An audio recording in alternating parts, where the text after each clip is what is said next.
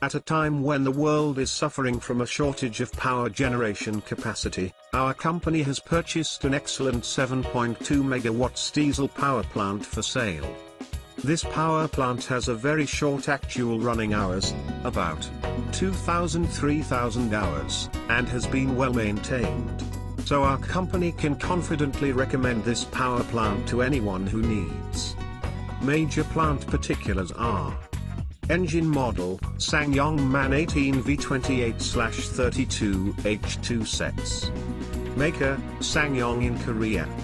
Manufactured and running hours, in 1999 and about 2,000-3,000 hours.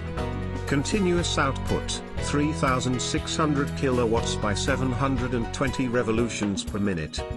Frequency and voltage, 60 Hz and 6,600 volts fuel oil, diesel oil, heavy fuel oil.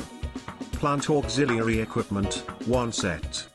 If you have any questions for more details, please feel free to contact us at ktso07799 at gmail.com.